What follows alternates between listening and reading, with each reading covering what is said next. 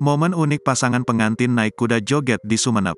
Viral di media sosial video yang memperlihatkan pasangan pengantin menaiki kuda joget. Dalam video yang diunggahnya, mempelai pengantin yang dikabarkan dari Sumeneb ini naik kuda yang sudah ahli dalam berjoget. Dalam perjalanannya, para mempelai ini pun diarak oleh warga sambil disawer. Terlihat sesekali warga memberikan uang kepada mempelai wanita yang mungkin sudah menjadi sebuah tradisi pernikahan di daerah tersebut. Terlihat unik, banyak netizen pun memberikan berbagai tanggapan. Bahkan ada pula yang tertarik bahwa pernikahannya kelak akan melakukan aksi seperti dalam video tersebut.